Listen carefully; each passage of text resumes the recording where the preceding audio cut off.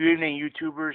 MFer version 2 here again. Um, giving my uh, new DVD update uh, for uh, May 11th, 2010.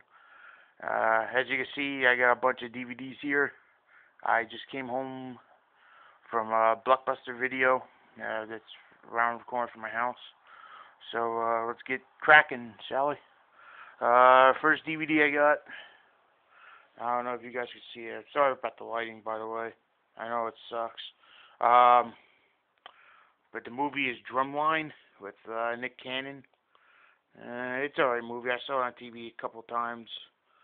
Um, that was alright. I like the uh, whole uh, Drumline uh, thing with Jake they do. So yeah, it's good.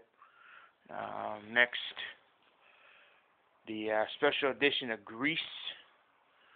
Um, yeah, very good movie. Very. Uh, I like the uh, whole uh, school idea and everything with the sing-along. So, yeah. So it's a good thing I got this movie. Um, Good Burger. If you guys are a real child, man, this is the movie you gotta get. If you remember this for uh, the guys Kenan and Kel from uh, Nickelodeon. Uh, if you guys uh, like the uh, the old '90s uh, sitcoms, so yeah.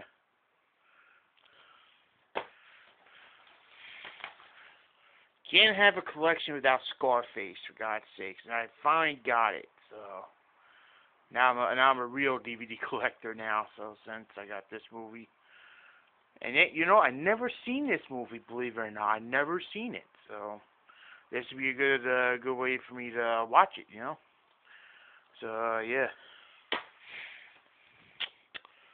The Little Rascals, man, come on. You, can't like do a move like have a collection without the Little Rascals.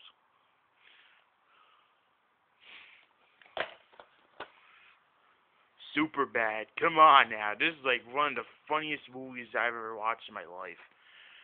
Freaking uh what's the guy's name? Uh oh, what the hell is his name? Can't think of his name. It just popped out of my head. I can't freaking think of his name. Um, what's his name? What's his, oh yeah, McLovin. I love that name. It's funny. So yeah, this is a this is a good movie to get. The uh, Star Trek uh, special edition. This is the uh, the new uh, movie they came out with. I haven't seen it yet, but uh, you know, people are telling me this is a really good movie even if you're not a Star Trek fan. So uh, give this a shot. Forrest Gump. Come on now. You gotta have Forrest Gump. Box of chocolates. Life ain't without a box of chocolates. I can't even do his fucking voice now. I'm sorry. Old school. Never seen this, but many people have been telling me you gotta watch this movie. So uh, yeah, I give this a shot too. So Footloose. Yeah, I know I'm going back to the '80s, but you know, I, you know, Kevin Bacon, he's a very good actor. So uh, I haven't seen this movie in ages, so oh man, I'm forgetting things, but uh, yeah, it's a good movie. Watchmen. Never seen this movie before. I only got it because of Jackie Earle Haley, and I, you know, people tell me that, you know, he played Freddy Krueger in the new movie, and uh, he sounds just like uh, Rorschach or something like in this movie. So I wanted to test out the uh, voices, see if they were, if the people I know were right. So. Sandlot, come on now. Awesome movie. Very, very good movie.